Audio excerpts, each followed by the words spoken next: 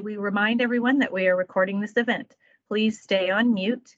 You may type in questions using the chat box and we'll address those during or at the end of the presentation. We may also open the floor at the end so that you can unmute your mic and ask your questions then. And now for our speaker. Dr. Atul Chugh is a board certified cardiologist who joined Franciscan Physician Network, Indiana Heart Physicians in July 2016. He's the managing partner at IHP and is the clinical hypertension specialist. He is also medical director of cardiovascular research at Franciscan Health. His training includes an internship in internal medicine at the University of Massachusetts and residency at Rush University Medical Center in Chicago. He then completed a fellowship in hypertensive disease at the University of Chicago, working with the preeminent scholars in the field. He did his fellowship in cardiovascular disease at the University of Louisville Medical Center, where he was chief fellow, and completed his training at the Johns Hopkins University in advanced cardiac imaging. He has been a national principal investigator in cardiovascular trials funded by the National Institute of Health, the National Heart, Lung, and Blood Institute. He has over 100 publications, including manuscripts, abstracts, and book chapters, and his work has been cited over 3,000 times. We're happy to have him here with us. Welcome, Dr. Chugh. Thank you, Dawn. I think, you know, as we go down and, and do these talks uh, in multiple forums, um, having this uh, and being uh, doing this in front of our own colleagues at Franciscan is perhaps the most gratifying. So thank you very much uh, for joining me today. Um, again, we went over our speakers bureau. I assure you that we will uh, not have any uh, any conflicts of interest here. Um, I wanted to go over my objectives very briefly, and that is let us just go ahead and, and, and review the guidelines, both in the US and international guidelines at this point, um, to see how they impact uh, prevalence, to understand new methods of detection, and how these are sort of coming to light uh, in uh, the uh, general forum. And next, we will go talk about some novel therapeutics, which really do have the um, the potential of changing uh, the the landscape in terms of our ability to take care of uh, this uh, very highly prevalent condition. Um, as we go through our objectives, I wanted to at least um, highlight what sort of the title of the of the talk is, and that's to highlight both low and high tech solutions using patient examples um, to really sort of um, make this a little bit more um, clinically relevant for all of you. Um, that to me, I think would be the underlying goal of this entire talk. So let's go into the prevalence of hypertension. As you can see here, the prevalence of hypertension certainly goes up uh, as we age in the U.S. Um, at the uh, in as we are in the 75th uh, or 75 age or above, um, the prevalence of hypertension is about 78 percent. Um, as we look into NHANES data, um, about 47.3% of the adults in the in the United States are defined as being hypertensive, and um, the um, lifestyle modifications plus medications that should be recommended as per the new guidelines uh, would be in that uh, 79 percent range. In other words, those are the type those patients. Seventy-nine percent of those patients should either be uh, should be on both uh, lifestyle modification plus medications. Unfortunately, and these data continue to accrue, our ability to control hypertension um, has been challenging, and there's a multitude of reasons as to why that's the case. And I'll go through some of those challenges today and how we can potentially combat them in addition to the um, those who are uncontrolled, um, uh, the treatment to untreated ratio is about one to one. For those who are uncontrolled, um, about half of those are treated and half of those are untreated. So either they're not treated at all or they're being inadequately treated by the medication regimen they currently have on plane. And the current, uh, and of course, the NHANES data uses 140 over 90 as the cutoff uh, as in terms of control. So this is something that we need to sort of think about as we're looking at prevalence in the United States and what happens as a result of the 2017 guidelines. Now, no new modern day talk, I think, is complete unless we really think about the impact of COVID and what it has done to the realm of cardiovascular disease and our ability to treat it. So here I'm, i wanted to uh, uh, sort of point your attention to what happened to blood pressure control in three major centers, including Columbia University, Ochsner down in New Orleans, and Cedar Sinai in LA. In the pre-pandemic uh, uh, region, what we're seeing is that these um, centers were doing a fairly good job at blood pressure control. And frankly, the blood pressure and the pooled blood pressure of the patient population these centers were treating were actually going down over time. Post-pandemic, as you can see here, those blood pressures rose uh, in the magnitude of about two millimeters of mercury on average. And of course, that also translated, unfortunately, to poorer cardiovascular outcomes. And all those data, as I'm sure all of you have seen, um, have been well um, uh, reported, uh, both in the general literature and, of course, in the scientific literature. And one of them, and I think what this trial or this, this sort of observational study highlights is that the lack of health care uh, in times like COVID, and as we go down other um, challenges that we may have in healthcare, uh, will will certainly um, be a challenge for us to uh, control blood pressure as in terms of a population health strategy, and of course um, translate to worse outcomes. And this is an important feature that we must all think of as we're part of a large uh, network.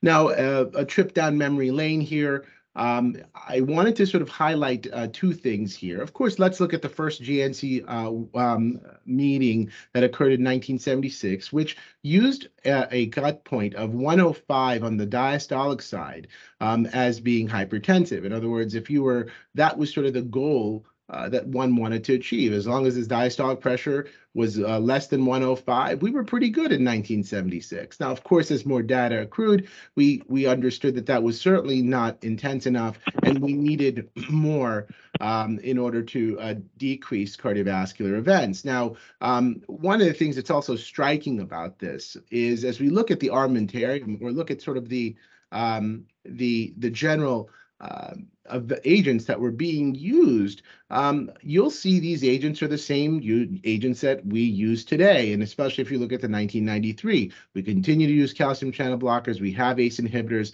Of course, now we use a lot of angiotensin receptor blockers beta blockers, alpha beta blockers.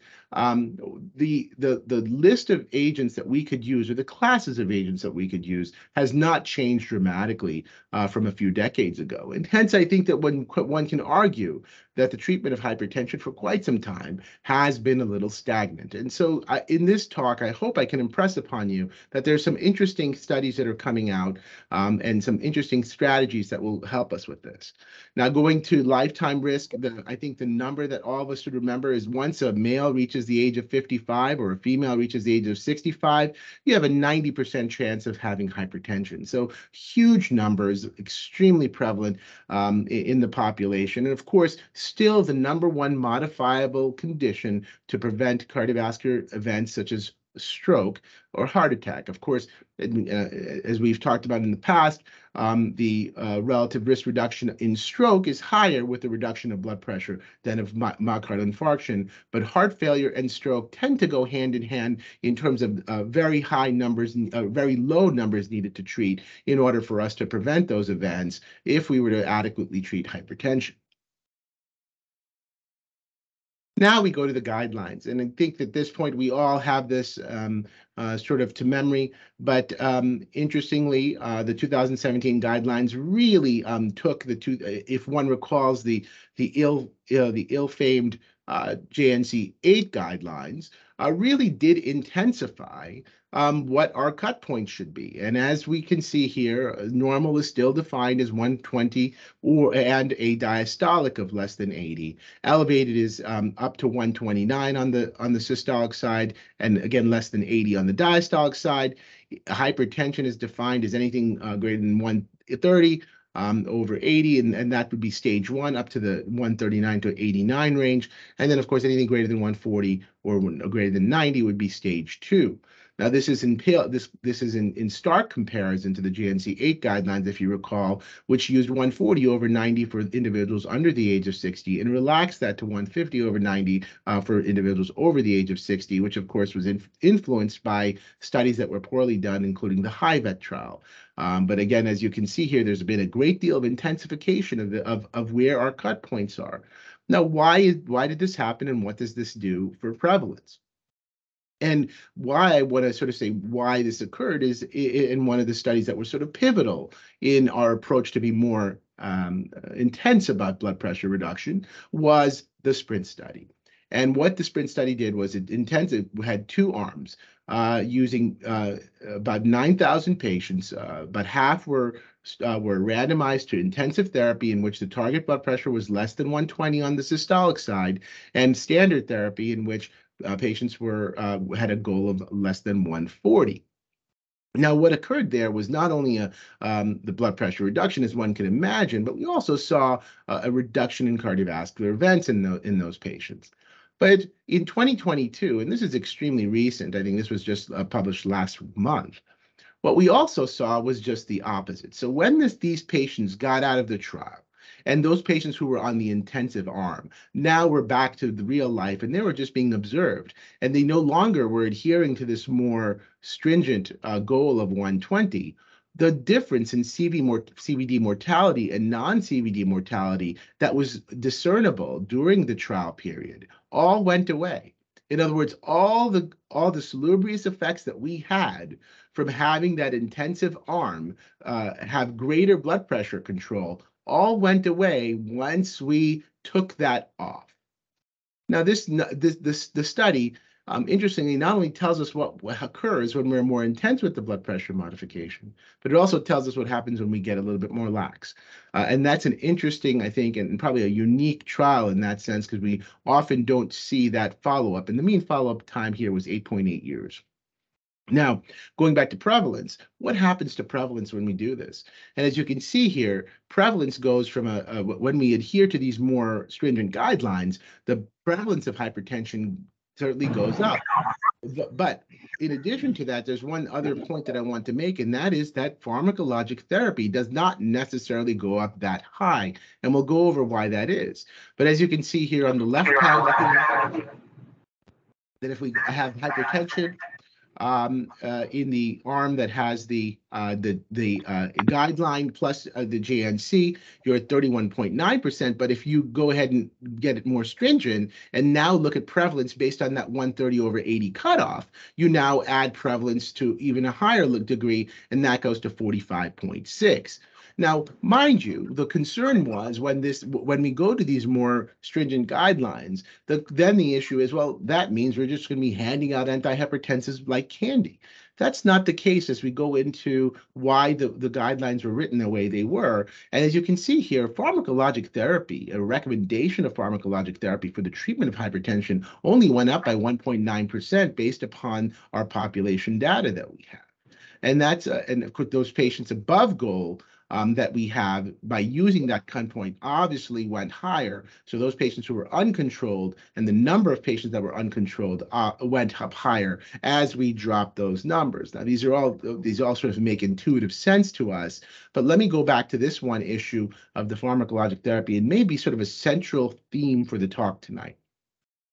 Now, just um, as an aside, um, we in America certainly have our own guidelines. The ESC, which is the uh, second uh, um, sort of um, guideline uh, position that I, that most of the world follows, um, is not as stringent as we are. Their um, goals for office or clinic blood pressure is 140 over 90. The daytime mean is 135 over 85, and their 24-hour mean is 130 over 80 when we look at the 24-hour blood pressure goals other interesting things that we would want to think about is if here uh, in um, uh, in um, in the U.S. guidelines, initial combination therapy uh, for those patients who are greater than 20 over 10 above goal um, uh, is actually only um, uh, that uh, cutoff is higher. In other words, we um, endorse or the or the or the the guidelines endorse the use of single combination pill only um, when or, or or, or suggests that it should be used when the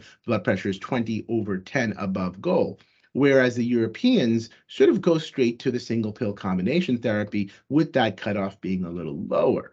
Now, there's many reasons why this will, uh, uh, uh why this strategy uh, may have some benefit, and that is that the thought process and what we're continuing to see, especially when it comes to drug adherence, is the issue of are we better off getting our patients on more medications or with lower doses so that we're not necessarily getting those dose related side effects, or are we better off exhausting a single agent? before we go and, um, and, and pull out the, the, the combination therapy strategy. These are things that are still uh, continuing to uh, be um, examined with population studies uh, and a, a, few things that will, will, which I'll allude to uh, later in the talk.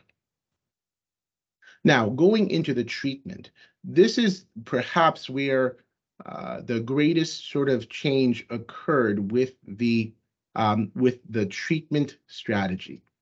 While most of us, especially in the cardiology clinic, use 130 over 80 as our cutoff, it's an important distinction that once you're in that 130 to 139 range, an 80 to 89 range on the diastolic side, we then are asked that we should go ahead and calculate the ASCVD risk score.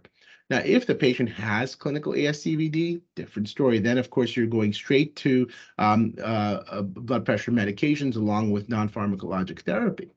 On the other hand, if that patient is less than 10% on the risk, we are asked to go to non-pharmacologic therapy. Now, this is a in stark um, difference to some degree to prior um, um uh, uh, position papers or guidelines. If you recall in JNC 7, we used a much uh, we used a, a, lower cutoff point for diabetics and patients with CKD, and we used 130 over 80 in those patients. But here, the utilization of the ASCVD risk score to help us sort of adjudicate um, care in the stage one patients was an interesting um, uh, sort of a, a, an interesting um, uh, addition uh, and of course, um, in some ways, complicated our job um, as clinicians as we're trying to treat hypertension.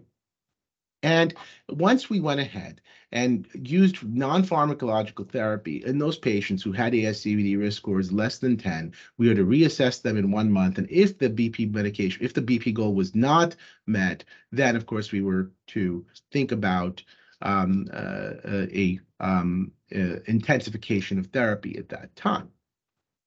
Now let's focus a little bit on this because I think this concept tells us a great deal. And there are a few things that I think we as a as a system should probably start thinking about and and maybe a little bit ahead of its you know ahead of uh, its uh, the the general um, uh, curve of how we're treating hypertension, but certainly a little bit, I hope, for you, thought provoking. And that's first is risk stratification uh, based on the, calcium score and non pharmacologic therapy. So let's go into our uh, a couple of things that I wanted to sort of highlight. We are all using the ASCVD risk score, and a lot of the, the utilization of the ASCVD risk score for for us has been largely for statin therapy. And as you recall, um, where the intensification of or, or, the intensity of statin therapy is often adjudicated based upon the ASCVD risk. Uh, and I'm, I'm not going to, Dr. Kovacic uh, has always done a wonderful job of this, so I'm not going to dwell too much into this right now. But let's go ahead and go straight into our case. Now, here's a here's two patients. Patient A, who has an ASCVD risk score on the left uh, of, of 9.7, and a blood pressure of 138 over 84. And I'll go ahead and ask you to look at this. And as you can see here, there's the LAD, the circ, and uh, the RCA should be here. Um, but there's really no evidence of coronary calcium. The patient has a calcium score of zero. And here is patient B, who has an ASCVD risk score of 9.7, blood pressure of 138 over 84, but has all sorts of calcium in the calcium in, in, in the coronary bed. Well, the question there is, what do you do? Do you treat do you treat them the same? Do you treat them differently? And there's where we go into the idea that, again, the calcium score not only can help us sort of change our strategies or help reclassify patients when it comes to intensity or initiation of statin therapy, but we can use a same a similar thought process when it comes to hypertension. And so let me go ahead and and and, and uh, show you this study. And this study was done uh, very uh, fairly recently, but published in Hypertension, uh, that pooled all the data from the MESA study, the um, the uh, CARD study, and the Jackson Heart study. And what they looked at was looking at what happened to the number needed to treat for hypertension based on whether the patient had a calcium score of zero or whether it was greater than zero. And as you can see here, for those patients who were in stage one, the patients who had a calcium score of zero had a number needed to treat of 160 when it came to blood pressure management. On the other hand, if we were to go ahead and treat this stage one in patients who had calcium scores of greater than zero, that number needed to treat dropped drastically to 36. Now, you can imagine how important that is and how drastic of a number needed to treat that is when it comes to looking at the calcium scores. Um, in stage two, I think the strategy here is, is probably a little less uh, important in the sense that most of us are are, are, going to treat these patients with uh, with medical management um, once the patient is is been classified as stage two.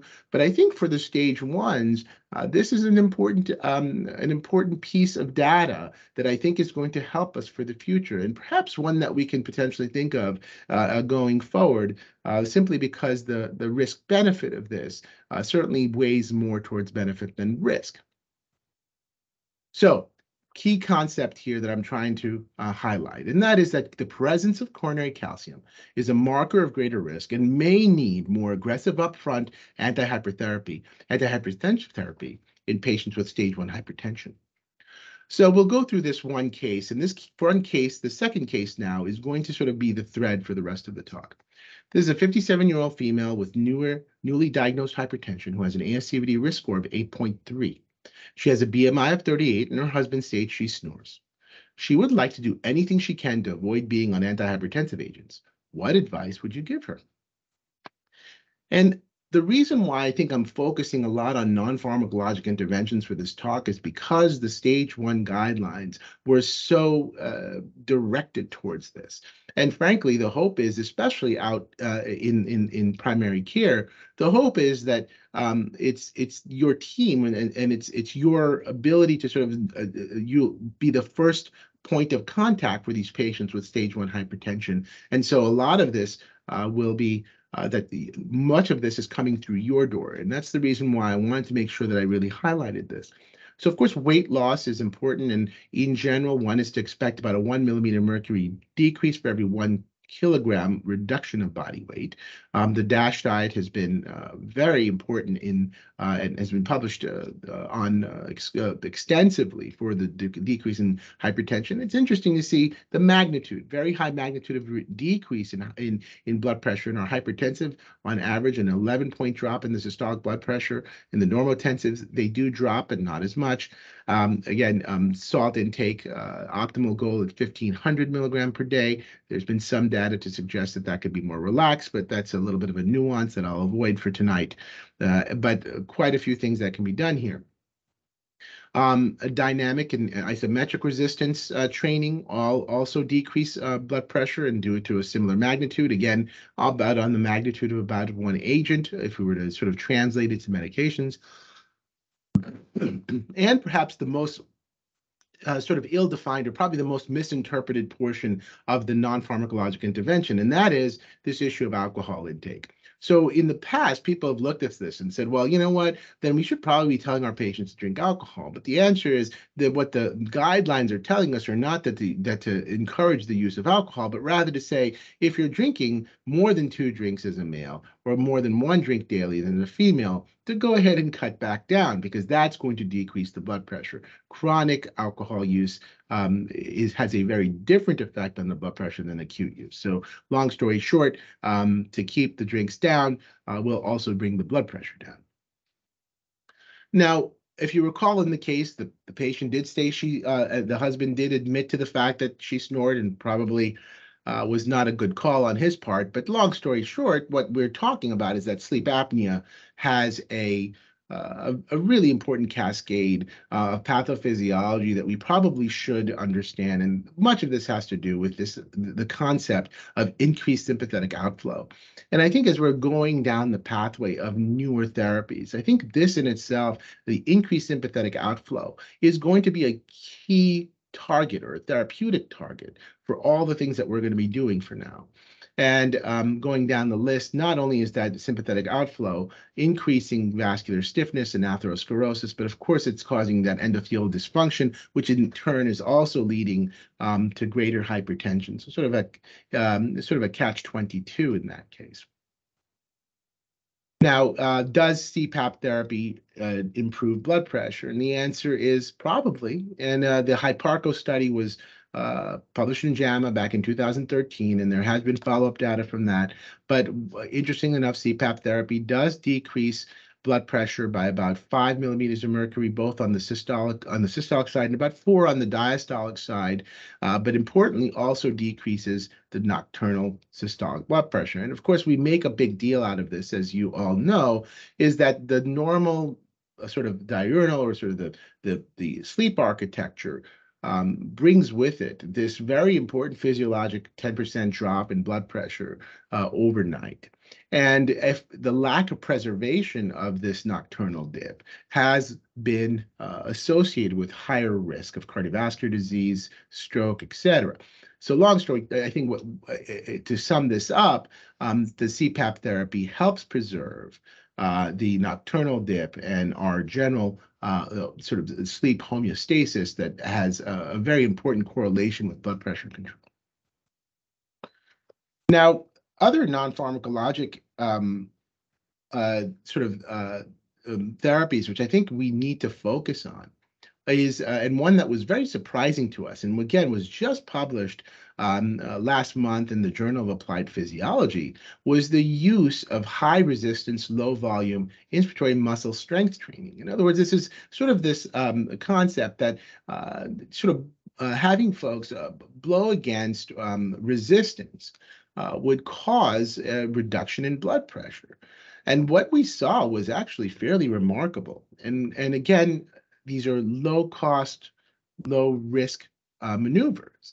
But what we saw was a very dramatic uh, decrease in the systolic and diastolic blood pressure with just a six uh, uh, uh week um, uh, experience with this. And so to sum up, in those patients who had that more higher resistance inspiratory training, uh, dropped their systolic blood pressure by nine um, and their diastolic pressure by four in just six weeks. Now, what's what we have to know is whether or not this is all a um, uh, whether this is a, a durable um, uh, effect. But we'll have to, again, uh, long-term data are going to be very important for this. But I think as clinicians, I think this should give us um, some heart in saying, well, there are things that we could do that just don't that don't necessarily have to do with what we can get in the pharmacy. Um, there are deep breathing exercise, and this is a little uh, device called the RESPeRATE, which has been available uh, commercially for quite some time, and believe it or not, is FDA approved. Um, greater effect variability with slow, deep breathing, and how this um, works is sort of uh, have a patient uh, wear a, a, little chest um, monitor, and we uh, and with tones that are given through headphones, patients slow their breathing down, akin to what we see with um, uh, sort of exercise and meditation, etc. And what we see also is a, a, blood pressure reduction, but certainly not as as pronounced as what we saw on the uh, the resistance breathing. Now, again, going back to what we talked about is this sort of um, cascade of how the autonomic system works within the uh, and how it sort of uh, sort of augments blood pressure and and why it's important that this is going to be the central um, target. And these deep breathing exercises do exactly that. So by by increasing um, the uh, vagal tone that occurs from from these deep breathing exercises, what the the, the natural theory of this is that by uh, that by uh, decreasing sympathetic outflow uh, as a result of these exercises, really at the key of, of how these things work. Let's go into to, to the case two and um and and see what happens there. Despite the patient's best efforts, her average blood pressure is still 138 over 84 six months later. You try to start her on blood pressure medication, uh, start her on chlorthalidone at 12.5. She states that all her blood pressures have been taken in an office setting and she is sure she has white coat hypertension. She insists on checking her blood pressures in other settings. Well, what do you do? Now, thankfully for us, the guidelines also help us define what the blood pressure should be. And I invite you to look at this 130 over 80 um, mark. Now, the clinic blood pressure, if it is 130 over 80, should correlate with a home blood pressure of 130 over 80. While the daytime blood pressure by an ambulatory blood pressure cuff should be 130 over 80, nighttime ambulatory blood pressure cuff should be uh, um, should be 110 over 65. And if we were to average out a 24-hour blood pressure monitor um, reading, it should be at 125 over 75. Now, this is where um, the our guidelines uh, go with. And if you recall from the uh, European guidelines these slightly different from those. Now, that gives us at least some targets which we can tell our patients look we want you to be at this case. Now how do you um, why is this important and why is it that we should be sort of veering a little bit away from blood pressure and uh, sort of decreasing the importance of what we do in the clinic? And that is of course uh, um, we're not going to go over this slide but you all know the, the, the sort of the the the the rigor with which one should take a blood pressure in the in the clinic we all know in, in, in, in, these times where we're trying to increase our access and trying to increase blood, uh, uh, sort of uh, to increase um, uh, throughput of patients, this is not practical. And frankly, almost any one of our patients is probably going to have spuriously higher blood pressures in the clinic. And, and so this idea that we're going to have the most perfect data in the clinic is um, uh, perhaps not correct. And so why should be, and it's okay, fine. So, so the, the argument then comes, well, most of the data out there comes from the clinic. So that's why all these clinical trials are really should be because that's where the the the, the values came from. We should all uh, really stick to the clinic pressures. And that's not true, or at least there's data to suggest that we should be looking at some other measurements. Now, this study by Schwartz done in 2020, I think was really critical to understand. And what it said was look, if we're trying to figure out which patients have left ventricular hypertrophy or have increased left ventricular mass, which blood pressure is going to be most predictive of telling us whether a heart is thicker or not? Is it the office blood pressure? Is it the home blood pressure? Or is it the 24 hour blood pressure? Interestingly enough, the correlation with left ventricular mass was most seen with the home blood pressure which is telling us that this method may actually be um, uh, have some inherent advantages compared to the other methods that we use. So um, in the past, we've been uh, very, uh, in the past, uh, literature has been um, uh, fairly discouraging of this, but I think in today's day, um, the home blood pressure may actually have aspects to it that trumps um, the office blood pressure. And in some ways, these three measurements measure something very different. Um, and we can talk a little bit more about that offline. And so the 24-hour blood pressure, then, if, if if I just told you that, what's the utility of a 24-hour blood pressure? And I think there's two reasons why one should really be thinking about a 24-hour blood pressure. Is number one to to sort of identify um, the uh, whether a patient is uh, uh, having a uh, level of control uh, over a 24-hour period. So if there's an opportunity for us to potentially up titrate medications. Number two, to screen for white coat hypertension, which can also be done with the home blood pressure. And the third thing is, is this entity called masked hypertension. And we see this in younger patients who tend to be uh, particularly um, interestingly, patients who have a, a, a lower socioeconomic status um, in, in, in population studies tend to have higher rates of masked hypertension. And these are the patients who have normal blood pressures when they're in our setting, but higher blood pressures at home. And one should be thinking about masked hypertension in any young patients uh, who are, have normal blood pressures in the clinic, but have evidence of LVH um, uh, secondary to some other study that was done, whether it be an echocardiogram or an EKG that was done for other reasons. Well, this issue of wearables has become a, a, very important issue for us in, in, in, in modern day clinical medicine. And the question is, um, my watch can tell me whether I have atrial fibrillation or not. Can I have a watch that tells me what my blood pressure is on a in a real-time basis? And the answer is not yet, but we're getting there. Uh, currently, Omron does have a wearable watch that's miniaturized the oscillometric method. In other words, it has its own built-in cuff. It goes on the wrist. It takes the blood pressure just like you would with any other blood pressure uh, cuff at the wrist um, with the caveat that does not have as the greatest accuracy compared to the arm cuffs or frankly some of even the wrist cuffs that are available.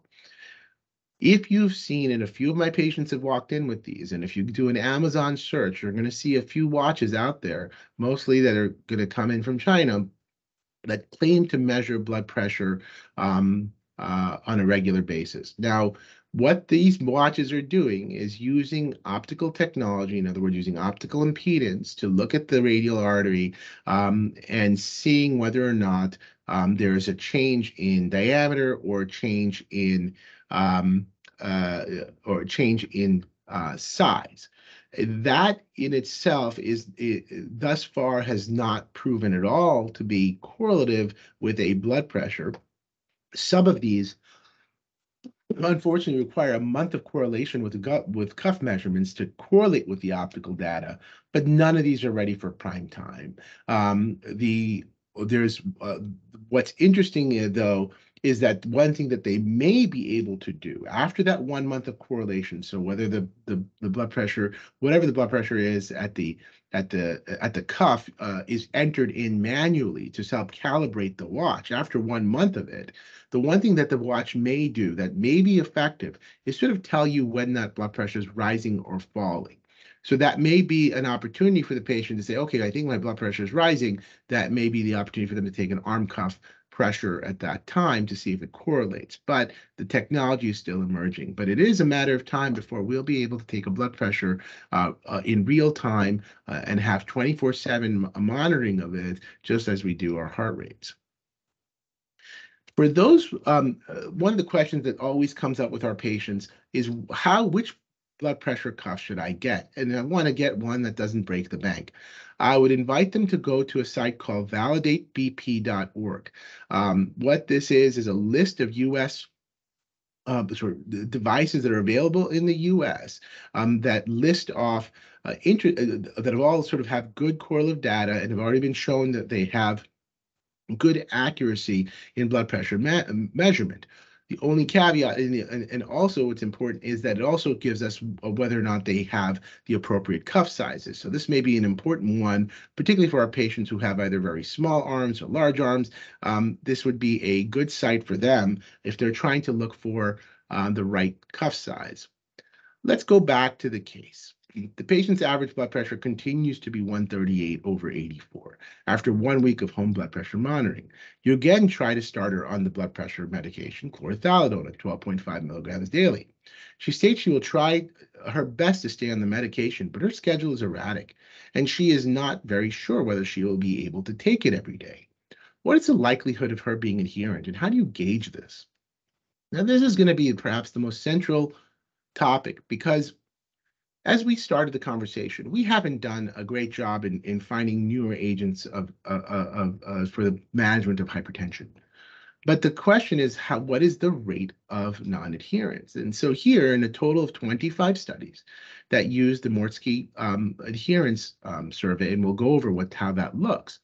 Only 40 um, non-adherence was about 45.2% of all patients who are on antihypertensives.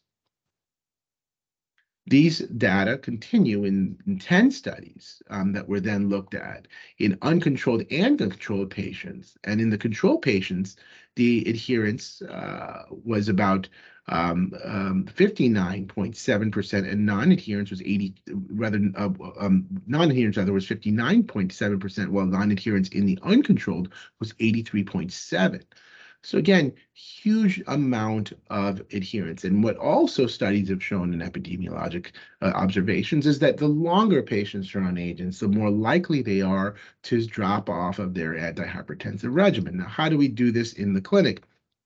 And one of the things that we are using is the Morisky medication adherence scale, which asks this series of eight questions, which sort of asks whether or not the patients have been forgotten to take their blood pressure, if in the last two weeks, whether there was any any day where you did not take your high blood pressure medication, and the list goes on here.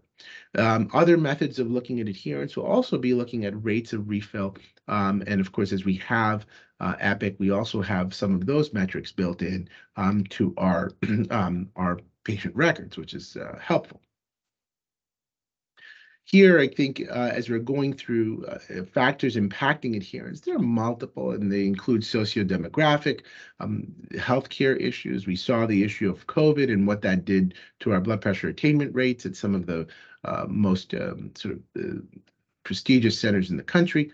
Um, are uh, some that are therapy in related, including adverse effects, condition related and patient related. And of course, cost uh, is always going to be uh, at a, a major um, sort of a, um, a, um, a, major factor in whether or not these patients can go through this. Now, so going back into this sort of and looking at this in its totality, as we look at pharmaco as we look at pharmacologic therapy, some of the lifestyle changes I just talked about, BP pressure measurements or timely office visits or healthcare usage, the central issue that we are all depending on as clinicians is the adherence of the patient. We are depending on our patient to do what's in their best interest. And I think that just goes that goes beyond hypertension. It goes beyond everything that it goes into the central topic of what we do every day. We are at the mercy of our patients to in order for us to improve outcomes for a population. Now, many of us can go into this into a personal level and say, well, you know, the patient, I can only help those who can help themselves, et cetera. And these are important topics. But as we look more into population health, we go outside of the individual, and now we think about what's really best for the collective health of a, of a, of a population. And these are the, this central thought process is what's really going to drive the next stage of how we really treat hypertension. As a sidebar, and I just want to go into this for just a moment because I think many of you have, may have seen a newer study which looked at uh, the comparison of chlorthalidone and hydrochlorothiazide. Um, why is it that we went ahead and, and looked at chlorothiazide as being so uh, important or why we liked it so much? And that's because it had some natural pharmacologic advantages compared to hydrochlorothiazide. First of all, it's the half-life, right? So as you can see, the half-life and the duration of the drug is anywhere between 48 to 72 hours as opposed to hydrochlorothiazide, um, which only has um, a half-life of 8 to 15 and the duration is only 16 to 24. Um, the uh, the medication uh, peaks and has onset around the same time, um, but because of these inherent advantages, we um, there have been several observational studies that initially looked at chlorthalidone versus hydrochlorothiazide for the treatment of blood pressure, and my group in Rush was one of those places that published some of these data. And when we looked at this milligram per milligram, we saw an advantage uh, in blood pressure reduction of chlorthalidone over hydrochlorothiazide. And so the DCP study, which was recently published, um, really um, uh, sort of uh, went against this idea that chlorthalidone has an inherent advantage. Now, mind you, this was a, a very interesting population. Of course, it's a VA population, but 94% of the patients were male. Um, but at the end of five years, there was no difference in the major uh, MACE events um, uh, between the hydrochlorothiazide and the chlorthalidone arm. The only thing that really was the difference is that chlorthalidone caused more hypokalemia than hydrochlorothiazide. And for those of you who write it as often as I do, um, that is something that we see fairly often. But oftentimes we offset that with the uses of um, patient, uh, of agents in the RAS um, blocker category. So I think going back to this, what the DCP study highlights to us is that we're going to be re-examining some of these older uh, tried and true methods of treating hypertension, and that um, with the advent of the of the electronic medical record, um, we may find new interesting data. But again, I wouldn't go ahead and, and throw the chlorthalidone um, uh, radio uh, button off of your Epic uh, just yet. Uh, this was just one study. Uh, I suspect that there's going to be more studies that will, will help us understand its role in blood pressure management. Let's go back to the case uh, and try to finish up here. the patient states she is, will not take medications, but has heard about a procedure called renal denervation. Is it effective and am I a candidate? Now, this has been perhaps as we talk about the um, the uh, the development of blood pressure management, uh, perhaps the one technology that has yet to really come to, to realization. But uh, as I show you some of the data, um, you may uh, uh see that there are some um, interesting um, developments with this. So a few um, methods. This one catheter that we know of is a is a is a uh, ultrasound catheter that it's used and has a water cooled um, ability. So what it does do is you go into the renal artery. What this does is it causes um, uh, the renal artery or the nerves that supply the renal artery to be ablated as a result of uh, ultrasound waves because it's water cooled, what it does is it doesn't cause any endothelial damage to the vessel, but simply goes deeper and causes the burn to happen um, uh, on the periphery of this. And with this one catheter, uh, and we'll go more into the detail of what we're trying to achieve with this. But with this one catheter, uh, we saw a decrease of blood pressure of 8.5 um, uh, versus the sham procedure uh, at the end of two months. Now, let's go into a little bit more of what we're trying to achieve here. So what we're trying to do when we do renal denervation is go ahead and put a catheter into the renal artery to burn these uh, nerves that are within the renal artery. Now, if you recall, there was a study called SYMPLICITY 3 that first came out, which ended up being negative. And unfortunately, it was because, or what we think it was because of the fact that most folks who were burning these things were doing it proximally, where the nerve really doesn't have much juxtaposition against the wall of the artery. And by burning these nerves, the theory is, is that we're decreasing the sympathetic flow because the renal nerves are so heavily sympath sympathetically driven. By burning these sympathetic we are now decreasing all the upstream events that occur from it, whether it be the, the, the release of renin, whether it be the release of um, norepinephrine and other um, catecholamines that are mediated by the renal nerves. So by burning these, what we are doing is attenuating sympathetic nervous um, um, activity. Now, mind you, that's exactly what we're doing with all the other non-pharmacologic things we just talked about, right? I mean, this is the central issue here, right? So this is just a way to do it with a catheter. Now, SPYRAL studies or, or the Medtronic studies uh, have, have probably a little bit more uh, data to them. So if you look here, um, there have been multiple um, patient populations in which this has been studied. Obviously, this is already done in Europe, so we have a lot of real world data from there. But uh, off med, on med, what we're seeing is fairly nice reductions um, after the uh, procedure in those patients who are off or who are doing this solo without medications. We're seeing a reduction of 9.2 over five uh, versus the sham, which was not significant. Um, same with on med.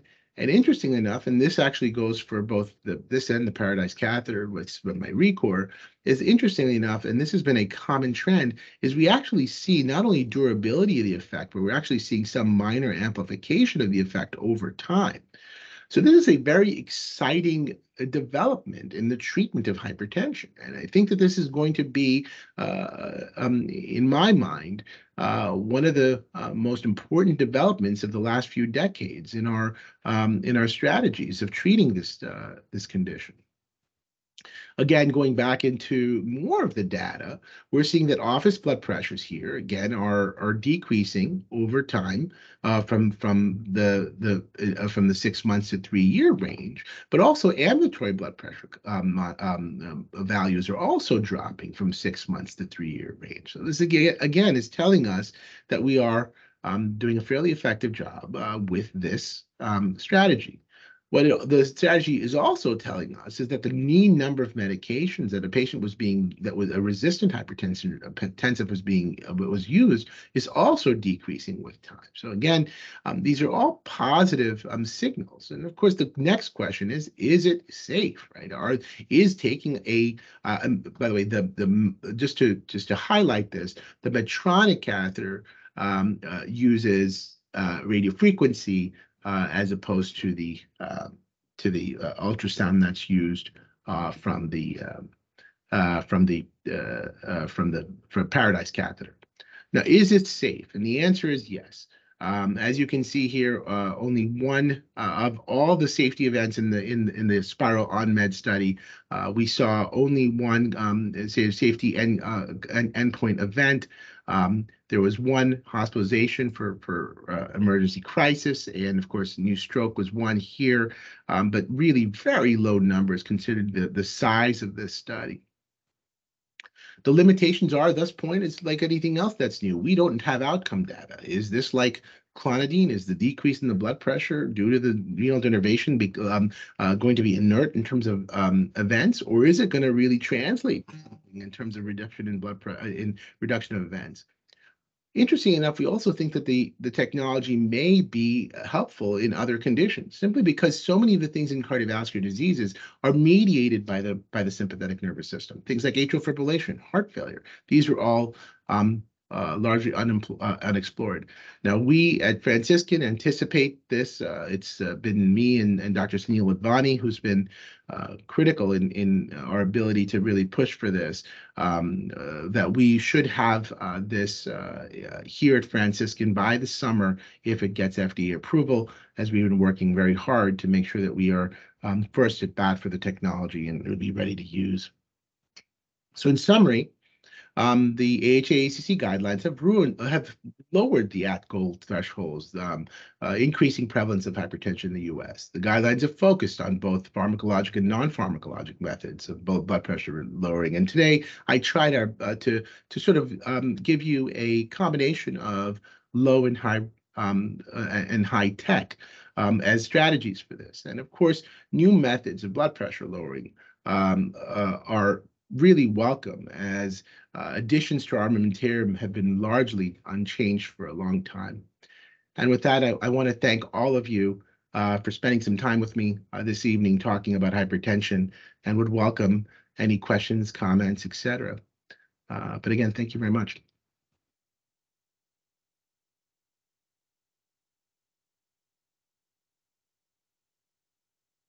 Anyone who has a question, feel free to speak or put a message in the chat. Here's one question, Dr. Chugh. Did I hear, understand you say that all patients, including those 60 years of age and older, should aim for a blood pressure lower than 130 over 80? Correct.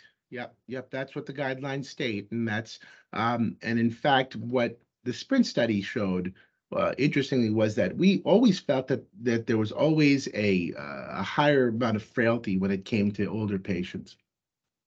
And so there was a thought process that don't be so aggressive with these patients. Don't don't don't drop them down too low because you're going to have more more events if if or they're going to fall. They're going to have uh, it's going to have too many adverse events. And what the studies have shown thus far is just the opposite. Is that that by lowering their blood pressure lower to that goal, lower than that goal, then um, um, what happens is we go down lower to that goal is that we actually improve cognitive function. So there's a been a lot of interesting um, sidebars on this in terms of the effects that it has, and and and frankly has been uh, kind of eye opening to us.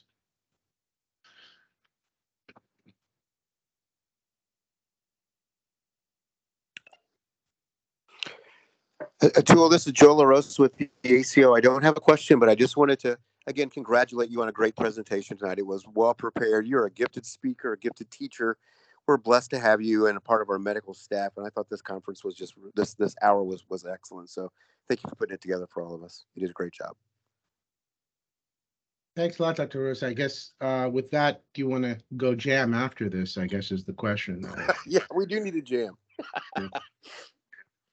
So there's uh, another question. I saw this. Did, yeah, yeah. Okay, go ahead. Yeah, what suggestions do you have for your patients to prevent burnout with regard to blood pressure monitoring once a day, once a week, and um, and, and addressing adherent, adherence issues? So, I think this is a, a again adherence of all in, in everything is so critical and and the issue of blood pressure management is that I most of the time what I'm what, what I'm saying to patients is the following that we are going to be working very in close to each other for a short period of time in order to get you at goal. And once we get you at goal, we can really relax some of the ways in which we do it. So the thought and the, the normal line that I have for my patients, you're not at goal with your blood pressure. For the first month, you and I are going to be best friends. In the next three months, you and I are going to be, um, uh, we're going to sort of see each other at the mall and say hi. After that, after you're at goal, you're going to be that Facebook friend that just goes ahead and tells and wishes me happy birthday every year.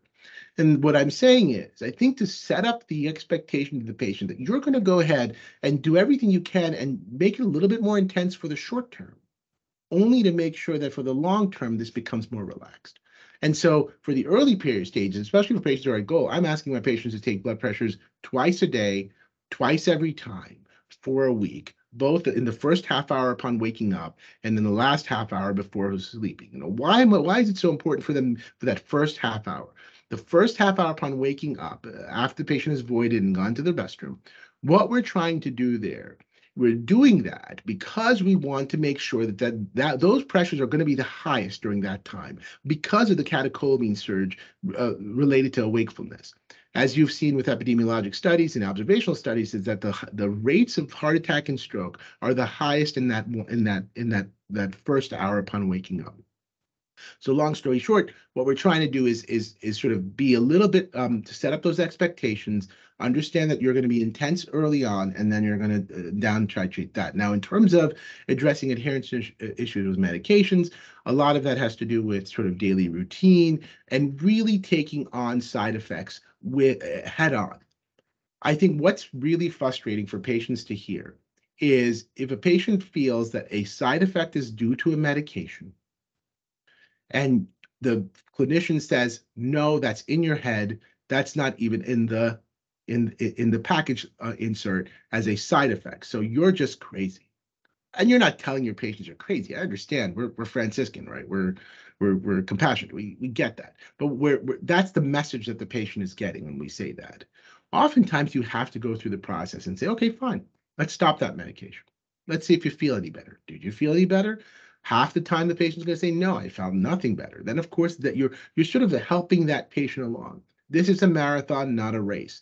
But i think listening to patients and and and giving them uh, the ability to to to voice their concerns and to really go through this methodology with with some methodology would be helpful i hope i've answered your question dr Rao.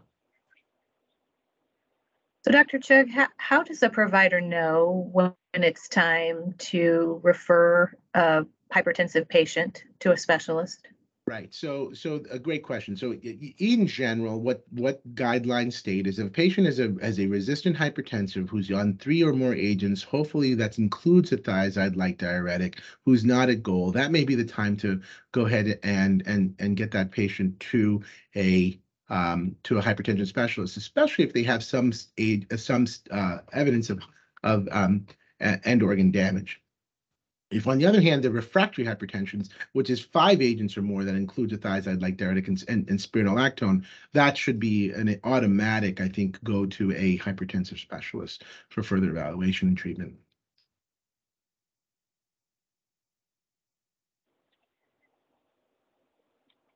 Are there any more questions?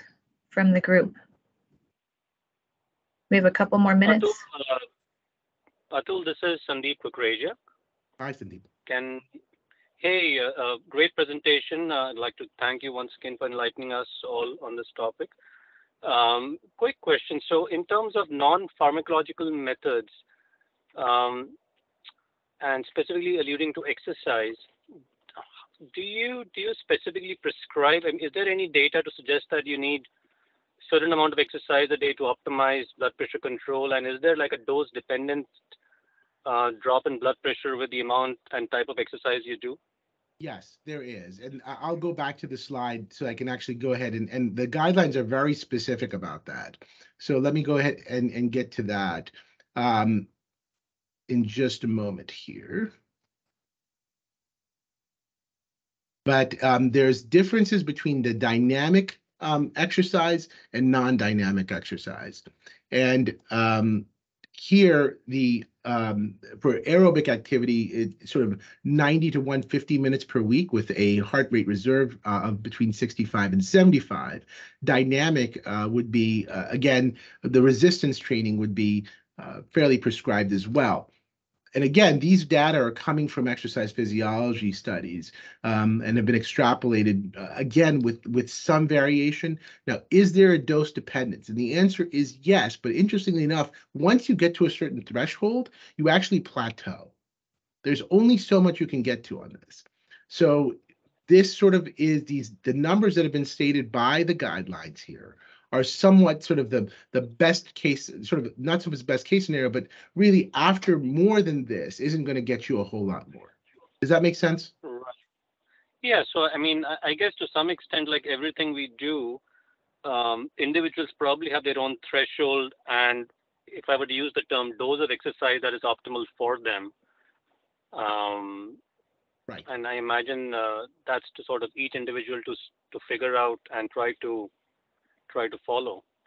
Right. And, and I mean, going to that point, these strategies of physical activity may not be feasible for certain candidates, right? So this may not be the best Right, non-pharmacological intervention you can use for a patient. So the point is, I think, just like anything else, just like we have, uh, what our therapeutic sort of strategies are for anything that we do in medicine, right? We think about how to attack a problem in, by, in a multifaceted fashion. So if we used four or five different non-pharmacological interventions, on top of that, we used a medication, we could get to where we need to go um, and, and get patients to go. It just matters. What, what matters is what is the most the likelihood of adherence. And in the current era, I must admit to you, Sandeep, my biggest concern at this point, and where my, my concern goes as a, as a population, is that the rates of adherence are so low uh, for multiple reasons. Um, that uh, we do need um, uh, sort of a multi-pronged approach to this um, overall. Yeah. Wonderful. Thank you so much, Atul. Great talk. Thanks. Thanks. Well, thank you so much for this presentation and thank you everyone for being on the line to learn from Dr. Chugh. I will post the evaluation link in the chat so you can uh, get the CME if you're interested in that. Um, Thank you so much. And uh, this concludes our program. Thank you, everyone.